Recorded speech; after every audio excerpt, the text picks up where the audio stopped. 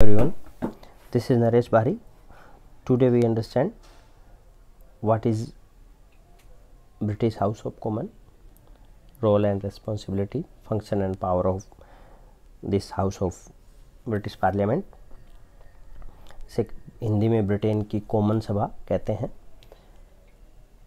हमें पता है कि भी ब्रिटेन की संसद द्विसदनात्मक है द्विसदनात्मक यानी दो सदन है अपर हाउस उच्च सदन का नाम लोर्ड सभा है।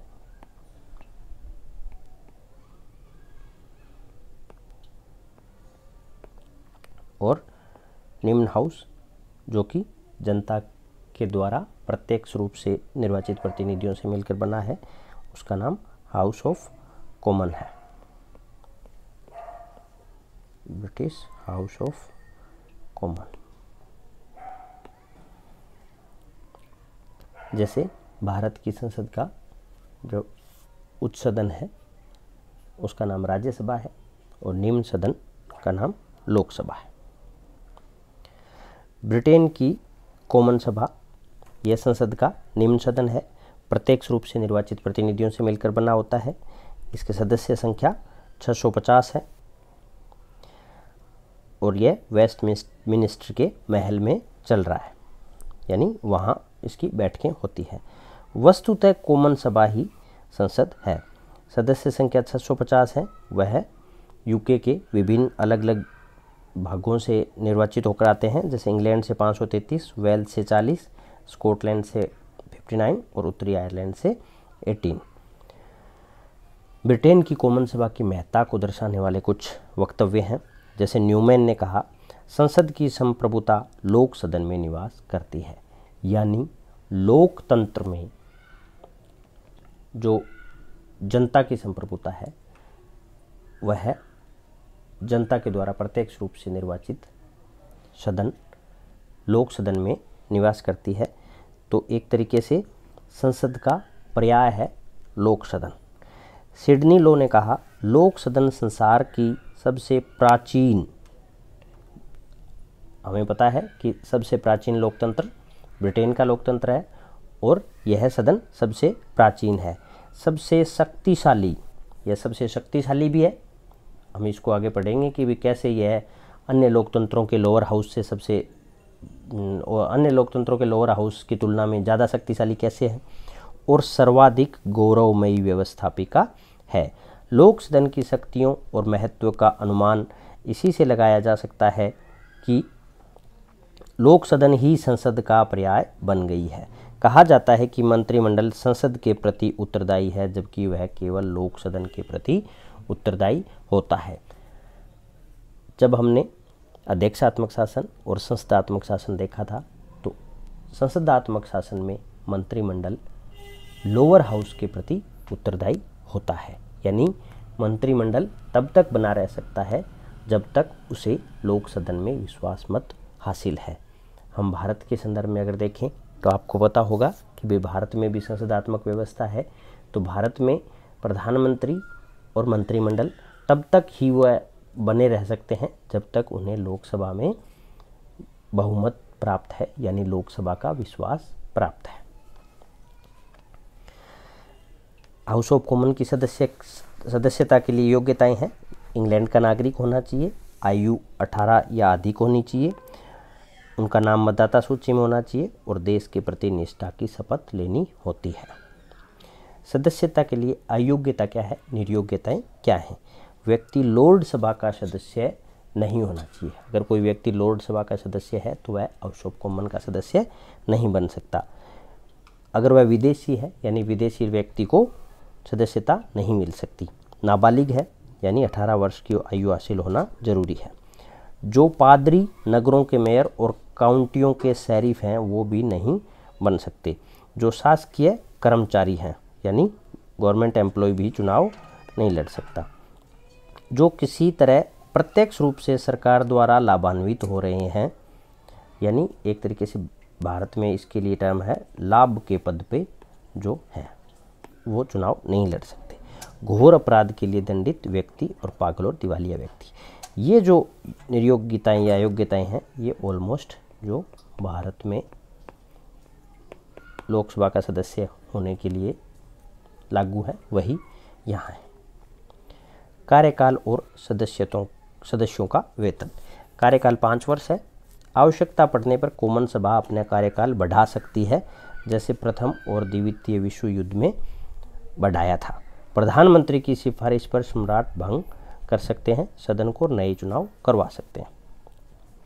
भारत में लोकसभा अपना कार्यकाल ऐसे नहीं बढ़ा सकती आवश्यकता पड़ने पर और यह विशेषता, यह भारत में भी है कि प्रधानमंत्री अगर यह सिफारिश कर दें कि सदन को भंग करना है तो वो भंग कर सकते हैं। बशर्ते प्रधानमंत्री को, यानी राष्ट्रपति को पता हो यह लगना चाहिए कि प्रधानमंत्री को विश्वास मत हासिल है।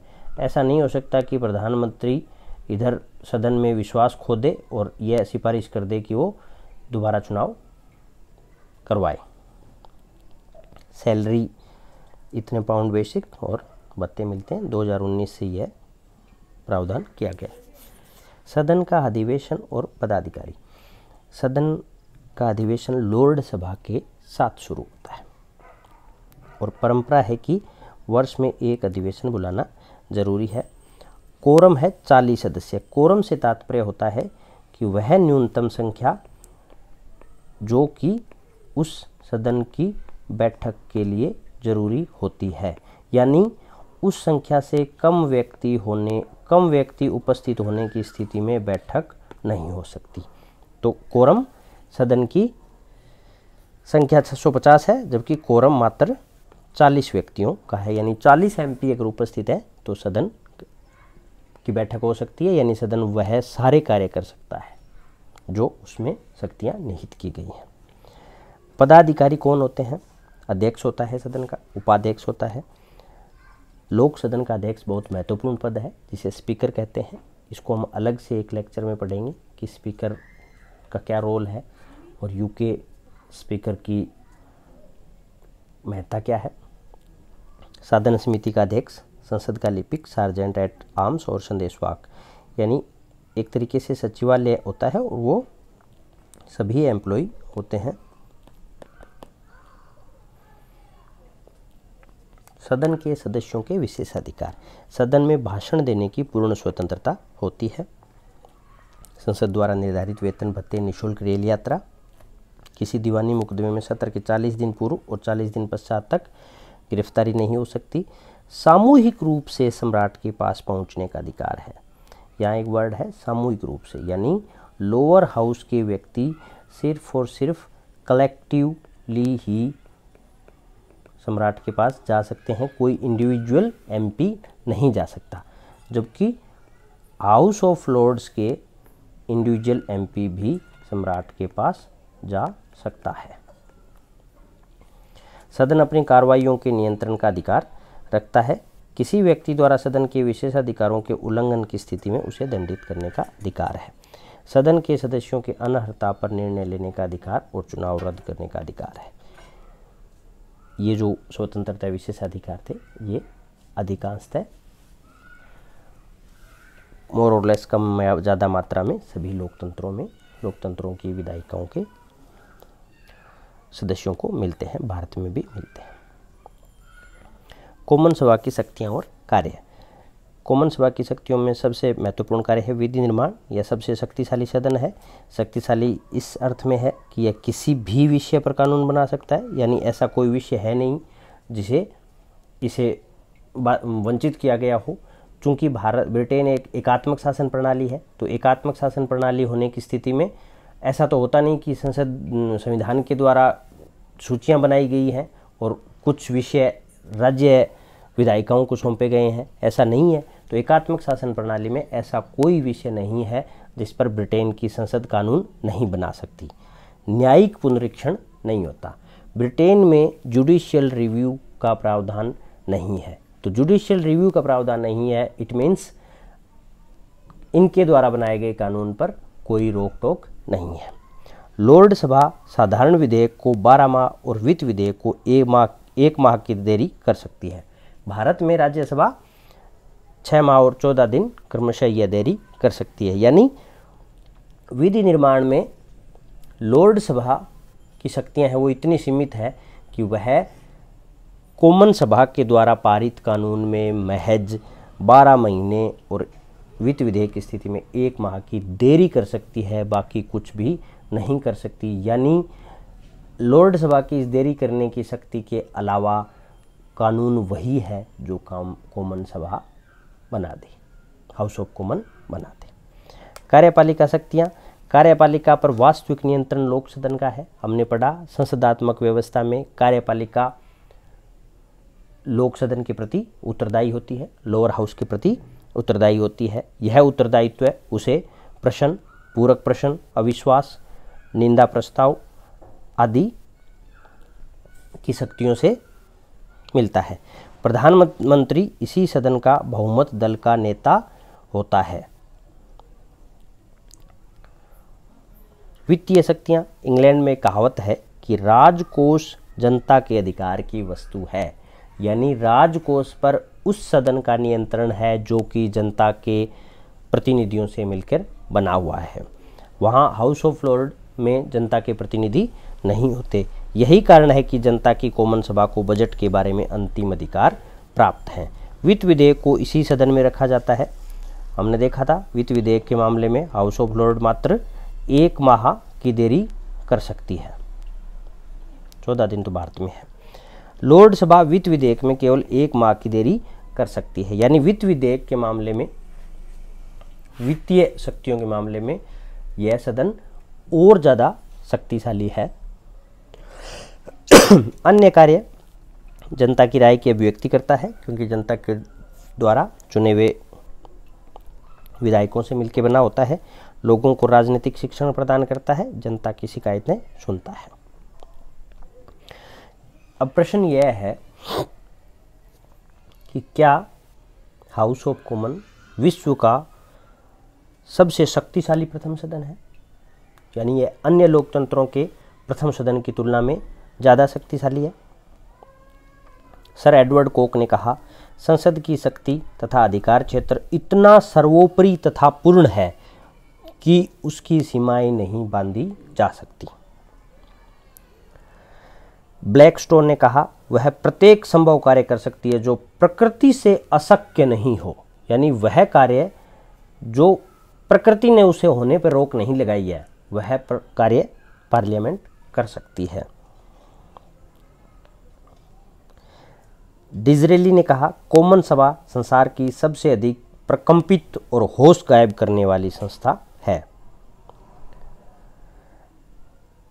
देखिए, ये जो तीन कथन हमने देखे विभिन्न राजनीतिक विचारकों के।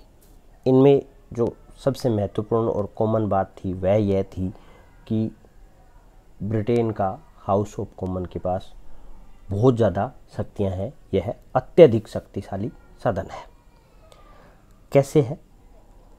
शक्तियाँ संसद में निहित हैं, लेकिन संसद का पर्याय बन गई है कॉमन सभा, क्योंकि हाउस ऑफ़ लॉर्ड को बहुत कम शक्तियाँ हैं और हाउस ऑफ़ लॉर्ड के पास कॉमन सभा को हाउस ऑफ़ कॉमन को नियंत्रित करने की कोई शक्ति नहीं है। ब्रिटेन की व्यवस्था में न्यायिक पुनरीक्षण का अभाव है। यानी अगर संसद ने कुछ बना दिया, संसद ने बना दिया, यानी संसद में हाउस ऑफ़ कॉमन का वो ज़्यादा शक्तिशाली है तो हाउस ऑफ़ कॉमन ने जो बना दिया वह फाइनल है। उसे न्यायालय, उच्चतम न्यायालय, सर्वोच्च न्यायालय परिवर्तित नहीं कर सकते, खारिज नहीं कर सकते। संविधान में संशोधन का अधिकार है, वो भी साधारण विधि के ढंग से, यानी इवन संविधान का नियंत्रण भी उतना शक्तिशाली नहीं है जितना अन्य देशों में है।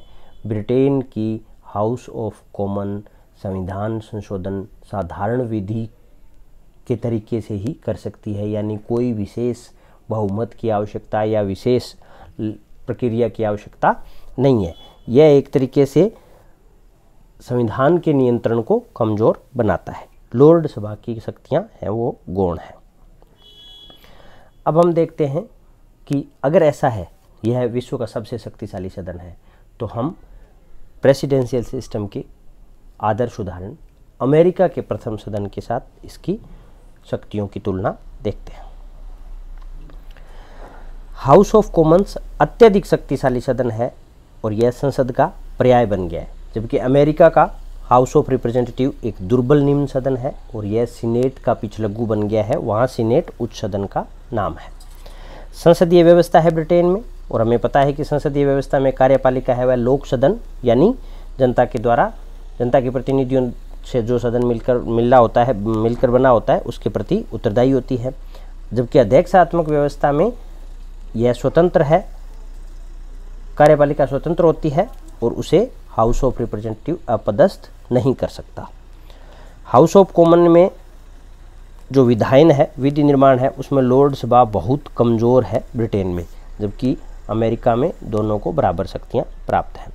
हाउस ऑफ़ कॉमन का स्पीकर होता है